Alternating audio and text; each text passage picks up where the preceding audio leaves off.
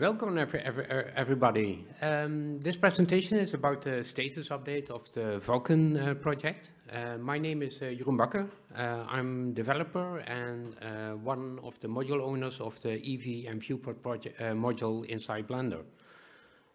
Today I want to tell you about the main reasons why we moved to Vulkan. I will be giving something about the project timeline and the milestones and we will go over several um, technical challenges that, that I uh, got uh, when starting on this journey. And most of those are not that obvious as you think. Um, when the presentation is over, there is some time uh, left for questions and answers. Uh, but we will start with a history lesson of OpenGL.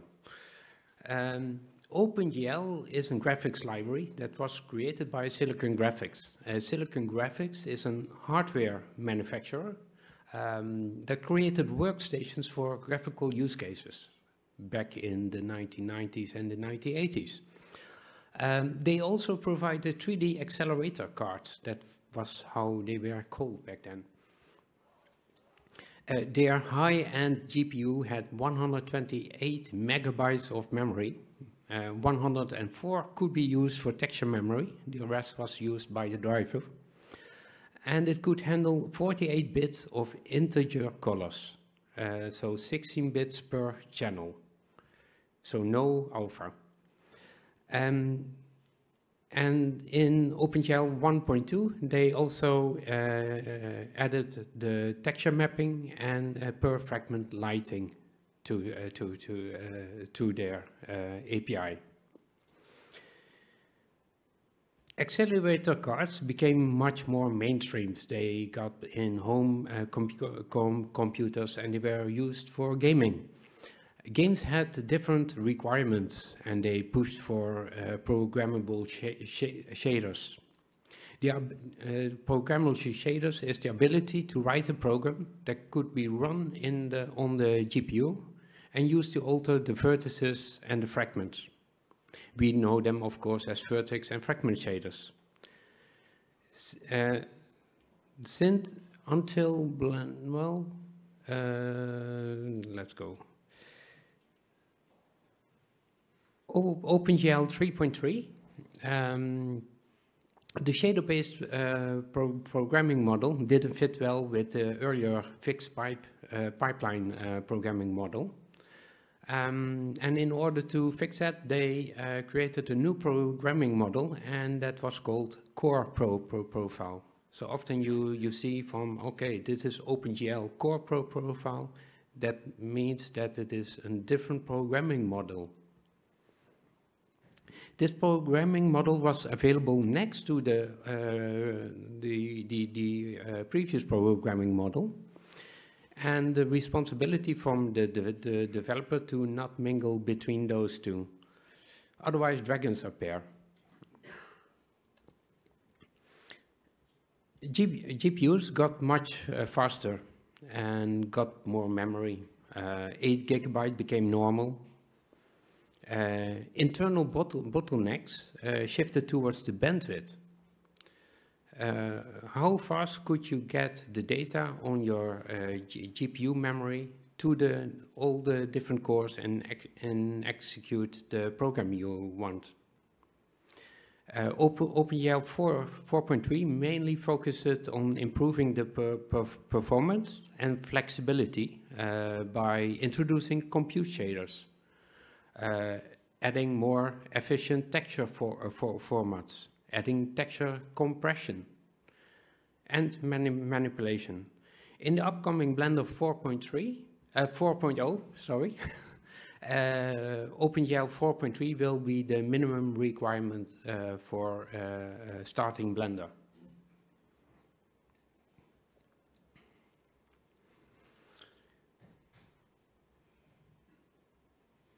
OpenGL was originally designed for GPUs with, with around 128 megabytes and memory run and running on a host system with only a single core. And using a non-programmable uh, pipe, uh, pipeline. Uh, something goes wrong. Nowadays, it has two different programming models. Both are still supported in order to, to run the other uh, application.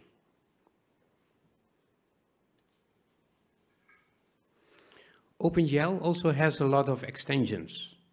Most of those extensions were created by, by, by a vendor and focused around how they understood the problem. Uh, similar extensions by different vendors were cre created. And under the umbrella of uh, the Khronos group, efforts were made to, st to standardize those different uh, uh, extensions into a single standard, resulting into a new standard, uh, the typical problem. Drivers might not have implemented the standard one, uh, so applications should still support the older ones of the vendor-specific ones.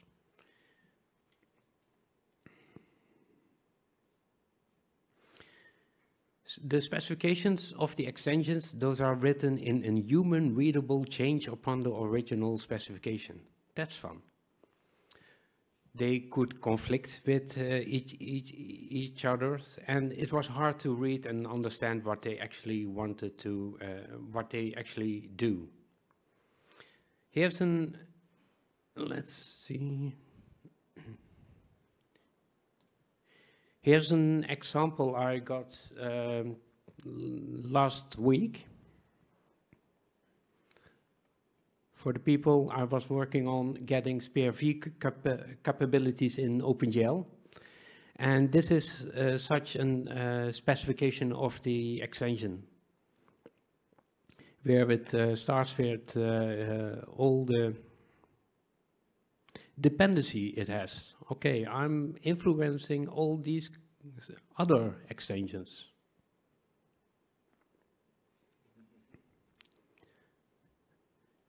And in the end, it tells you from, okay, get the specification, rip out those pages and those uh, uh, linears, replace that with this one. And if you then read it, it's what we want you to read. It is really, uh, to me, a diff.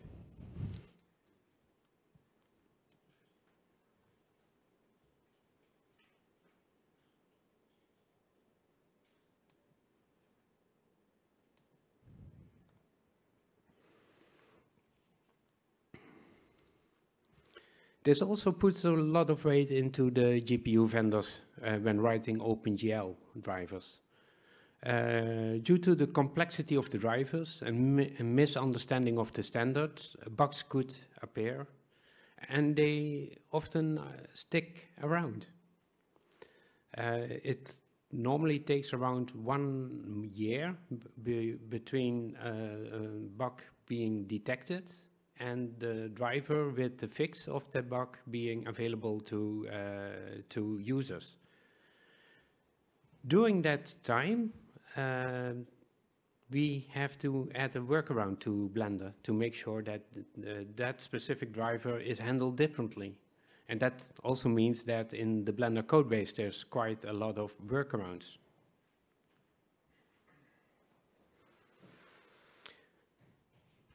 Khronos, um, one, uh, one of the, Khronos started um, the next generation OpenGL initiative in order to fix those, those issues that I mentioned and many, many, many others. Uh, vendors, they um, were more and more focused on similar, on, on adding more sim similar features with similar uh, solutions. Um, there were also general, there was also a general consensus uh, about the current bottlenecks and the future G, uh, GPU developments. The idea became to scrape away the high-level graphics API, which OpenGL was, and uh, make a more detailed specification, very strict, and give the power to the application developer on how to use it. When the, when the specification becomes more strict, uh, it's also the possibility to uh, perform driver conformance testing. So the, all the different drivers between different vendors, uh, they uh, get into a process and at the end of the process they know they are compatible with each other. If, if we would name such a project, we would call uh, the, the, uh, the Eevee and viewport module would call it OpenGL Next. But the initiative became up with a different name, and they called it Vulkan. I don't consider Vulkan to be an API. An API where you can pro program uh, against. It is more an ecosystem. It starts with how the specifications are written. There's a single online specification that is written in a testable, testable manner. Let's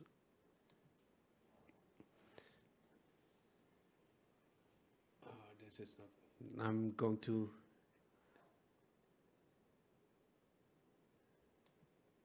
I think it's not being uh, for this uh, Um,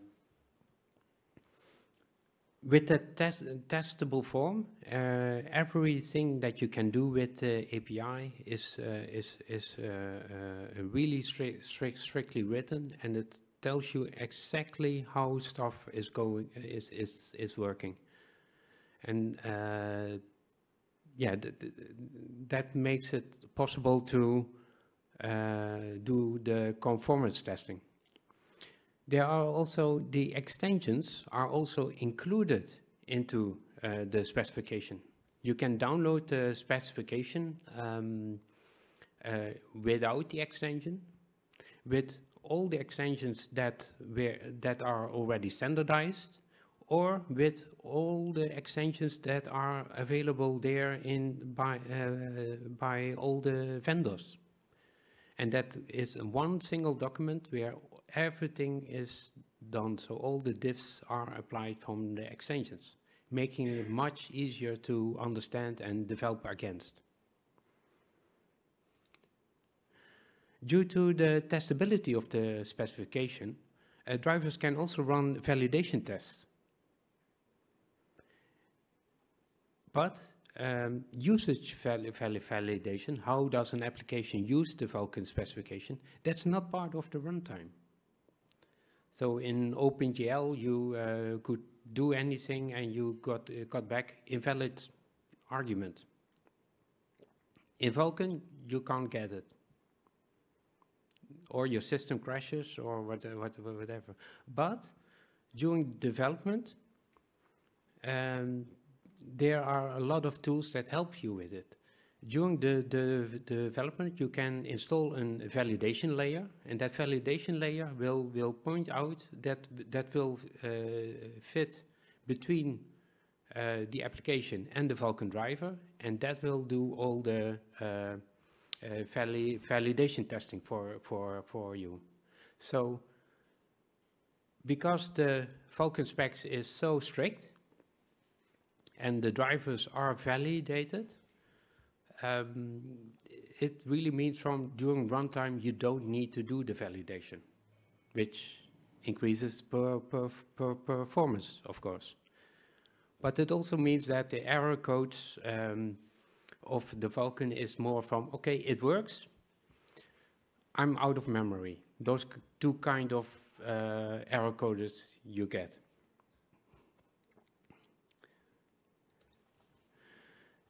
Uh, Vulkan is also shading language neutral. Uh, G, everyone is talking about the GLSL lang language, but it, it's not really a language. It's a lot of different dialects that look the same. Actually, they're quite different. Um, uh, Vulkan uh, wanted to, uh, uh, to, to, to solve that by from, okay, we're only going to support SPIR-V, which is a binary uh, for, uh, for, for format, and give the application developer the, the freedom to choose the shading language that they want to use. Do they want to use GLSL? And if they do, you want, if they are going to use G, G, GLSL, then here you have the really tightly strict version of GLSL that we support. It's just one because the application is compiling it.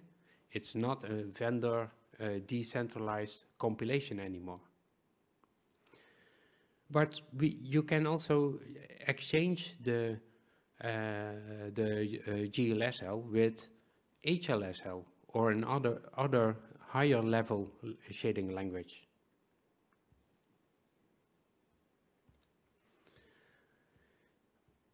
And then we get into from, okay, we're now in a lower level APIs. So memory manager is, management isn't part of the Vulkan uh, driver. Memory management is the responsibility of the application. Okay, that's something interesting.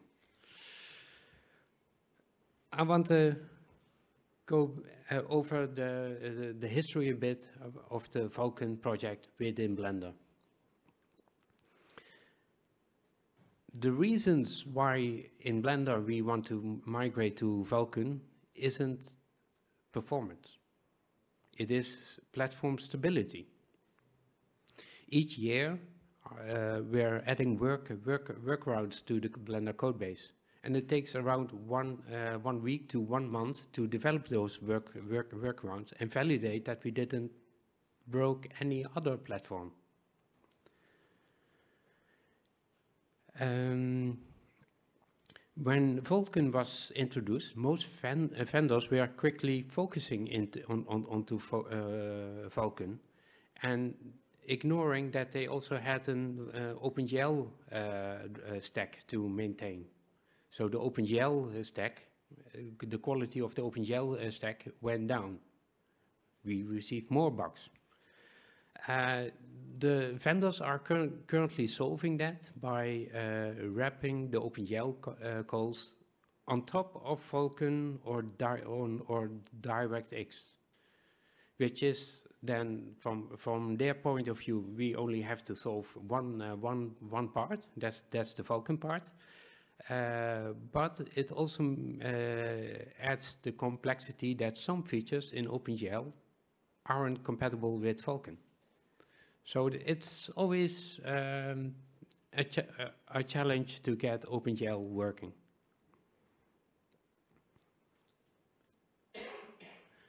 The second reason that is uh, new uh, GPU features are not uh, available in OpenGL. If we want to use hardware ray tracing or we want to use mesh shading or any other feature that, uh, that is uh, modern, you can't. You just can't with OpenGL. You have to use Vulkan.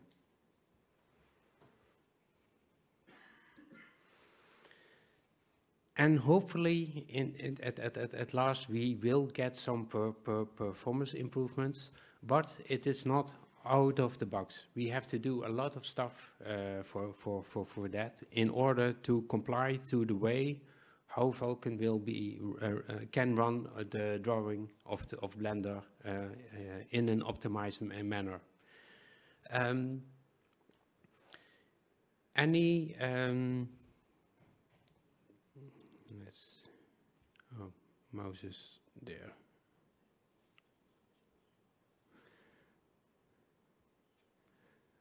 Uh, for for Vulkan to uh, to to uh, to draw something on the screen, you have to um, create a, a, a recipe. A, a, recipe they call it a pipeline.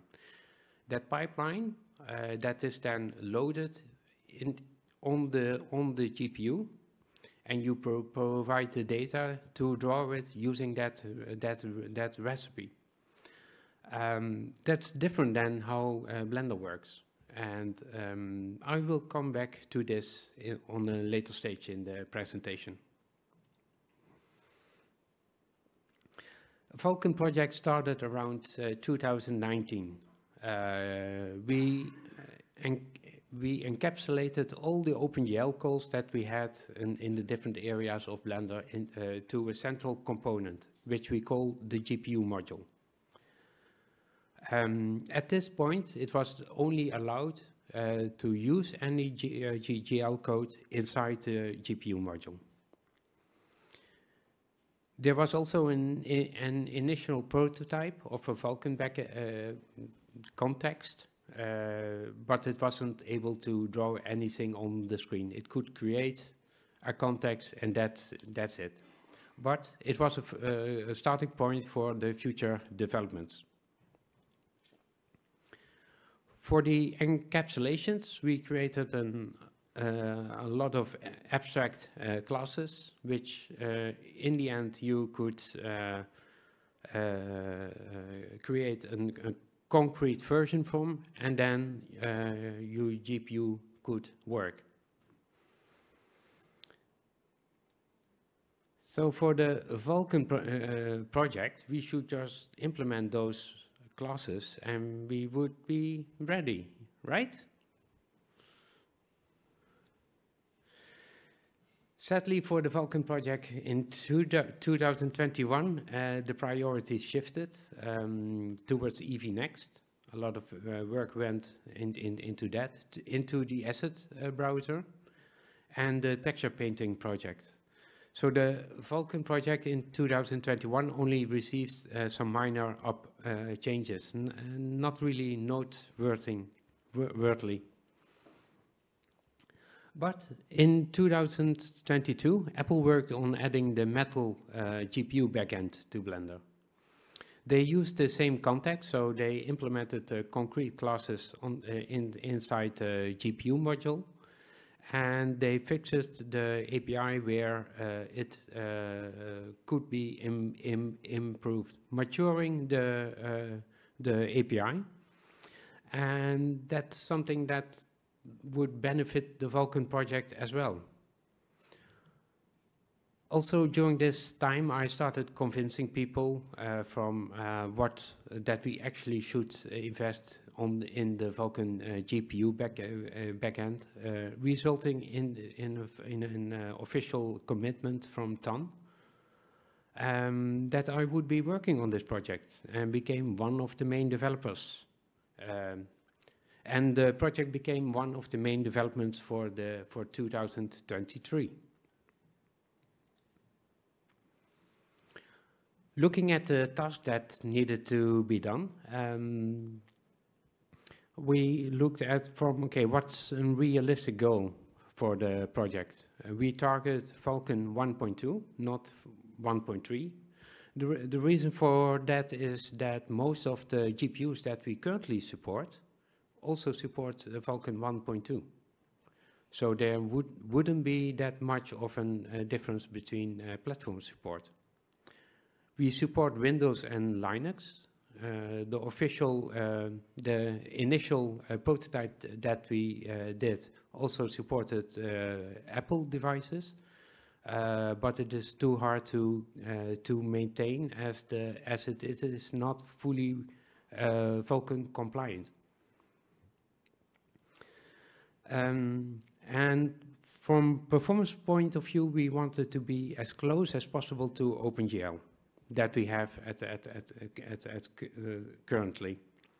Uh, we know that we need to do several iterations to get to that uh, speed, but uh, yeah, those were um, things that we back then think, uh, thought from that's doable. I looked at the approach that uh, Apple did when, when they did uh, metal uh, back, backend implementation and quickly found out that I would not follow the same approach. Their approach was uh, to implement every class, make sure that everything works, and then uh, at the final stage of the project, we can start Blender and we can see that we did a good job.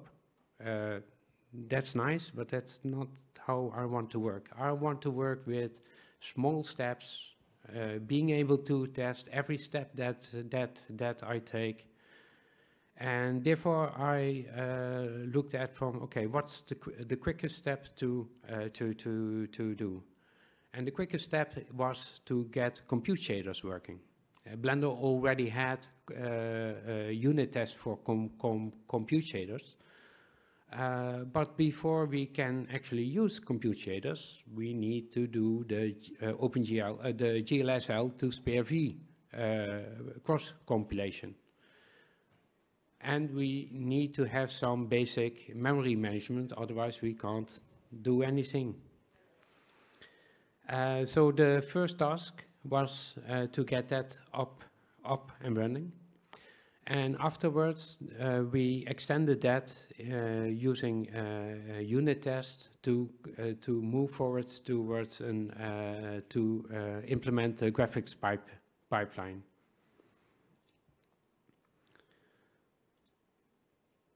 the project team, basically, most of the time is is just me. Uh, Bastien is uh, is uh, acting as an admin in the in the project, which means that he will be uh, looking at uh, at the project and see from okay it it, it uh, depends on other areas of Blender so they need to be informed or decisions need needs to be made and Clément with his uh, amazing uh, uh, experience of GPU development. But there was also some com community people involved. Most noteworthy was Kazashi. At the beginning of this year, he already presented a Blender version which run on the Vulkan backend. And he's still uh, working on, on, on that branch. And we learned a lot from, uh, from, from, from, from, him. How did he approach uh, the, his, his, his project? What kind of uh, uh challenges did, did, did he make? And it was really an, an inspiration for, for us to see from how we could uh, design some of the uh, the features that we, the parts of the, of the Vulkan backend, so we can landed into main. So where are we now? In the beginning of October this, this year, uh, we added the Vulkan backend as an experimental option in, uh, to Blender 4.1 alpha builds. The Vulkan backend will not be available in the release yet. Uh, we do this to get some some feedback from, okay, does it start on my computer? Or did we miss something uh, that we didn't know about? Uh, during the development, I test uh, the Vulkan backend in 20 different uh, uh, computer configurations, but there are thousands out there in the world. I might not have covered them all. And it's very easy to, uh, to, to test, even in Steam every, every day a new version of Blender is uploaded to Steam. You don't have to uh, to stick to the release versions. And mean, you can just add from, okay, GPU backend Vulkan. Then it's installing. And you can start Blender. It's just Blender.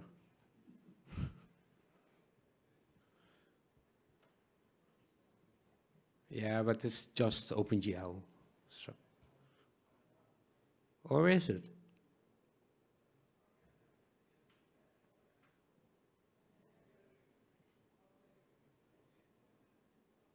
No, it's Vulkan.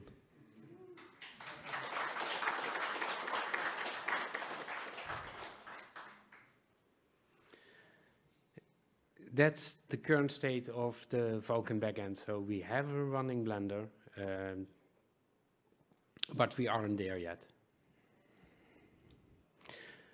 Some of the bigger Blender features are not working yet. Uh, Eevee, Eevee Next, uh, Cycles. Um, they, they use GPU features that we haven't impl implemented. Yeah, Eevee uses really advanced rendering tech, uh, tech uh, techniques, uh, which we are handling one at a time. Uh, for cycles, sharing memory between CUDA and Vulkan, that works differently than we anticipated. It works the other way ar ar around, where Cycles needs to allocate the Vulkan textures. And that used to be, and uh, current Cycles does that the other way around.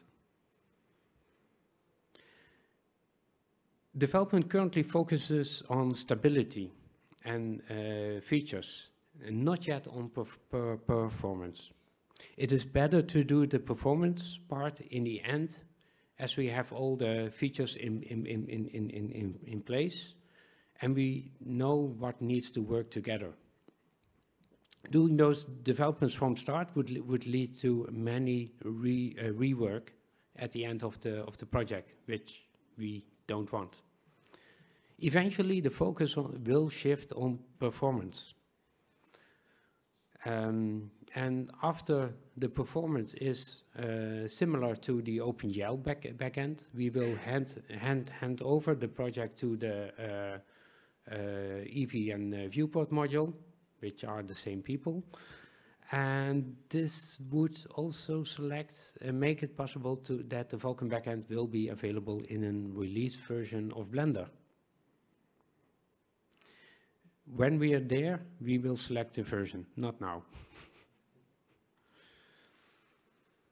So this was the status up update of the uh, Blender uh, Vulkan backend pro uh, project. And now I want to continue and check on some of the gotchas that we might uh, come, come across when we uh, work on Blender. You don't need to uh, be an expert in Vulkan when you, to, to start a project. Um, basically it is my first Vulkan project and I took something like, ma, let's migrate Blender to Vulkan.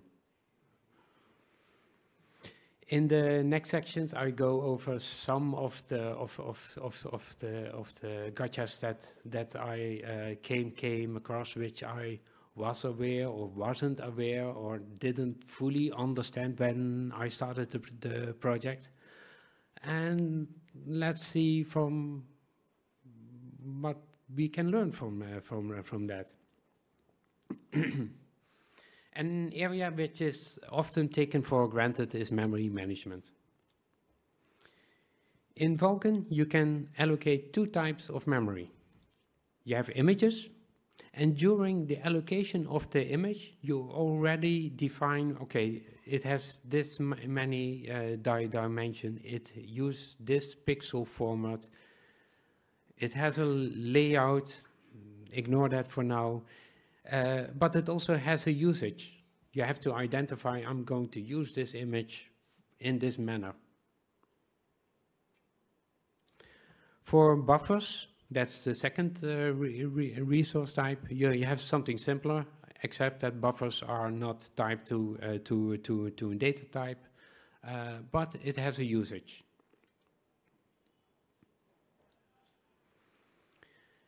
when performing um, uh, allocation on the on, on in, in Vulkan, you have to take into consideration the physical layout of the GPU.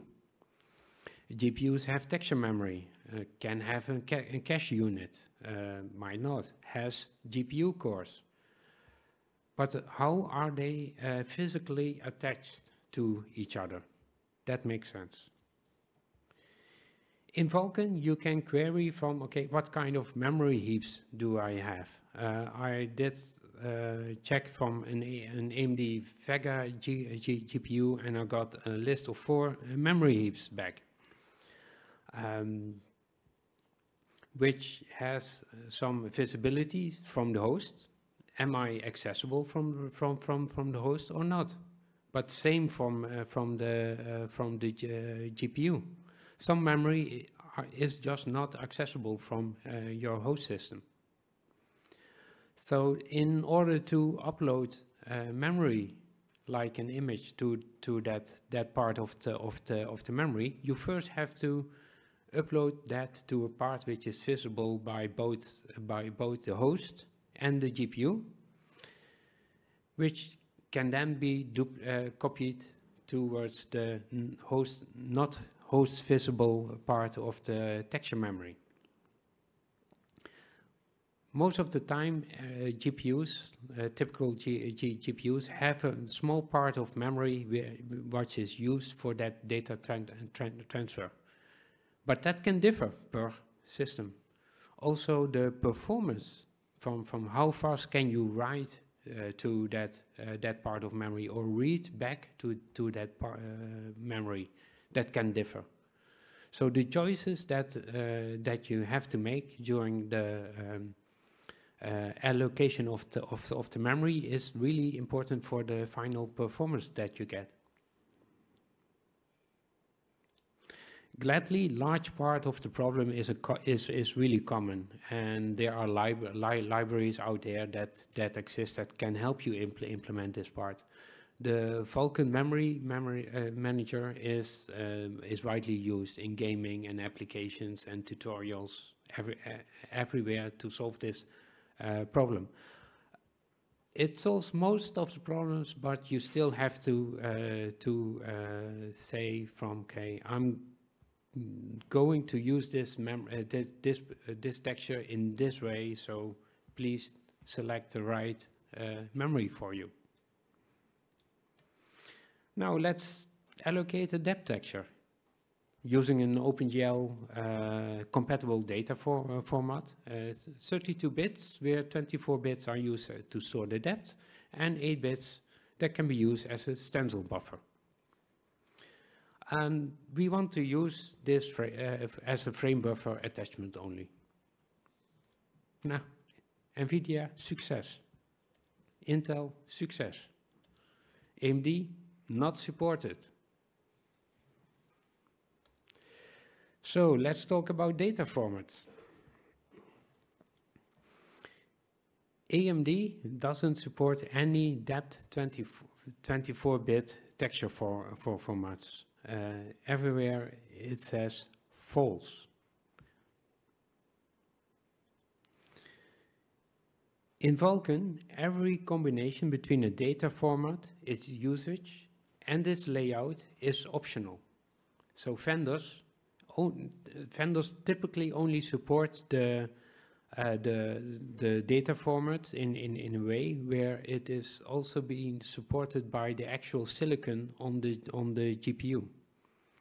If a vendor uh, says from okay, uh, I have to uh, use less space on the physical space on the GP, GPU, it can remove some of those silicon and then it's not supported in Vulkan. Games and tutorials mostly select the combination that are widely supported. Uh, for Blender, this is a bit harder because we also have add-ons who actually rely on uh, those texture for, for, for formats. So we always need to add uh, a fallback for any texture format out there. Uh, it's not that hard. So far, I found out that mainly the 24-bit texture formats or the three-channel texture formats are not uh, well supported, but you always have 32 bits or the uh, four-channel texture formats which you can use. even when textures are, are supported, it might still not uh, support every usage. Blitting, for example, is a special hardware feature um, that can copy between different texture for, for formats, applying some scaling to it, and, and, and filtering. Blitting already existed in, in uh, typical home computers in the 1980s, so it's really old technology.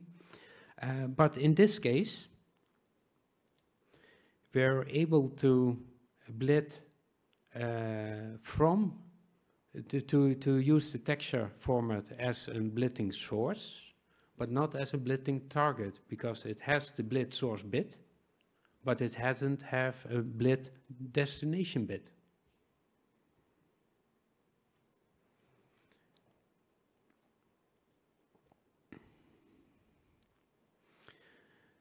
if you look at if you look at uh, other cases, like uh, like uh, this one, uh, there are also texture for, uh, data formats that cannot be supported by a texture, but only as a buffer, and then even it can't be used as a storage buffer or a uniform buffer, only as a vertex buffer. So there's quite some some things uh, in uh, when when you create a texture or, a buffer that you have to take into consideration. When uploading data, the data must be written in exact the same format. That's no problem for data formats that also natively, natively supported by uh, the CPU, like a float or an int 32-bit. But what about half formats? Or encoded formats? Or really specific GPU formats?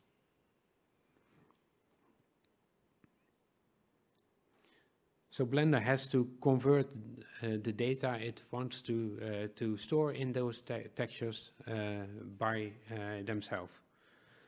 I added, we added a function that can convert any host buffer to a device buffer during the, the uh, trans uh, during the upload of, to the GPU to save some uh, cycles. Otherwise, you would first do a conversion loop and then an upload loop. Uh, this one does that in the, in the same go between all the different texture for, uh, for, for, for formats. For float conversions, we looked at available li libraries, like you have the, uh, some uh, some libraries that really uh, are uh, dedicated to a, to uh, a single float format, like the half data type, or you have libraries that are really generic, which you can use in any case, and but adds a lot of overhead we uh, use some uh, C, uh, C++ templating where we can generate the co conversion function on the fly when, when we need it and still be fast, so something in between. Um, something that we also do uh, here is that we clamp the value if it doesn't fit on the texture format. In OpenGL, if you upload an, uh, an, uh, a value that doesn't fit in a half uh, data type, uh, it gets an infinitive uh, value, which will show really in incorrect renders. Uh, we solve that normally by clamping it first to the, the, to the maximum value that that can that fit in that that format, and then upload it. But because we do the, the conversion at the same time as the upload, we also do can do add the clamping uh, to that same pro process. So it will be loaded to the CPU once and will, will be converted and clamped and then sent to the GPU in a single go, just to increase the performance.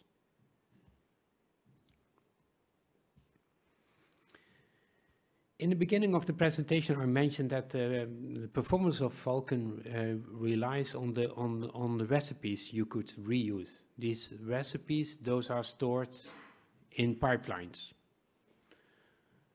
Vulkan has two kind of pipelines: the compute pipeline and the graphics pipeline. This section is uh, is about the graphics pipeline, as the compute uh, pipelines are really light and doesn't have uh, the issue that uh, graphic pipelines have.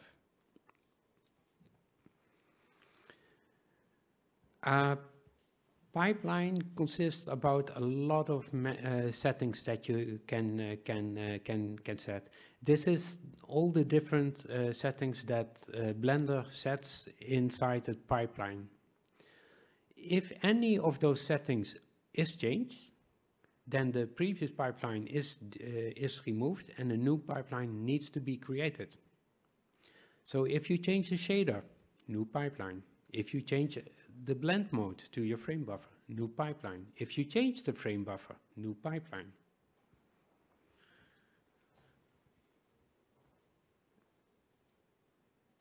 There are extensions in, in, in, in the making uh, that changes this part in the in the Vulkan uh, and and and and and is really to support the case like that we have for uh, Blender. Sadly, these extensions are only supported by 4% of the of the platforms and would always require a fallback, which is basically doing what Vulkan previously did to reduce to reduce the uh, code complexity. Um, we will stick for the first version just by recreating uh, creating pipelines and uh, uh, for the time being. In the upcoming period, I want to improve the graphics pipe, uh, pipe pipeline. We got already some uh, working, uh, but it doesn't per per perform well.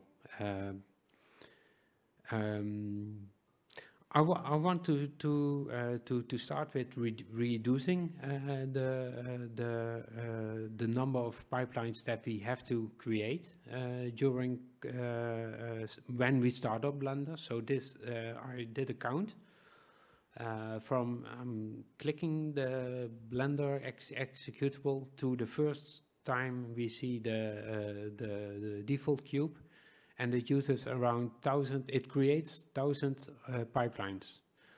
Uh, most of those pipelines are similar or the same. Uh, so I definitely think that we can reduce uh, some of the pipelines there. Uh, Vulkan also has a pipeline cache, uh, but I just want to add that for specific cases that we can't handle up, up, up, up front. It is better to add caches only in places where, where it matters. Um, that's for many things in, uh, in uh, Blender. Um, one reason why we have such um, so many uh, of uh, recreations of, of, of, Blender is that during uh, Blender 2.8 we created an immediate mode wrapper that could translate the old legacy OpenGL calls to the core profile GL calls. We call that IMM.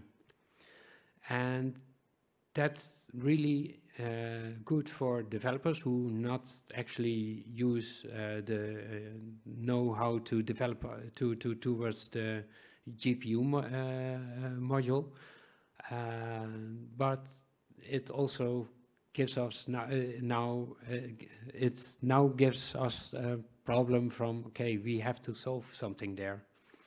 Uh, IMM code is really uh, readable for users, uh, for creating editors, uh, to draw the user interface for Blender. So there's, they're, they're widely used. So, need a fun project?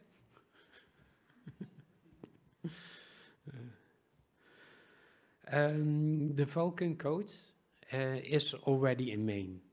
Uh, what you, what what you, what you saw, what uh, the what what what I did, that is just the uh, the the main branch of Blender. No, no special compilation options, just any uh, 4.1 uh, you you can download and you start and you can start it with the Vulkan backend.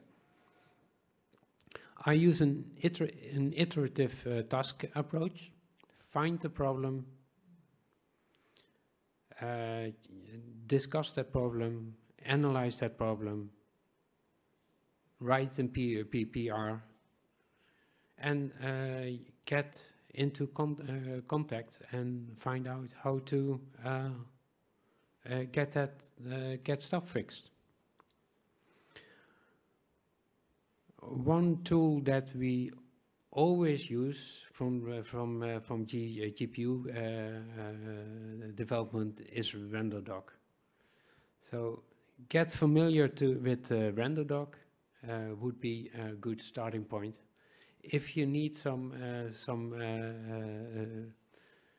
uh, some some help with, with, with that, we are always available there uh, to, to, to help out. You can actually uh, uh, uh, compile Blender with a compilation option with RenderDoc, which uh, does a more tightly integration between RenderDoc and, and Blender. So you can actually select the code which you want to debug and see only that part in the debugging tool.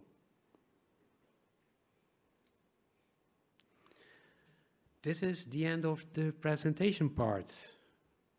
So.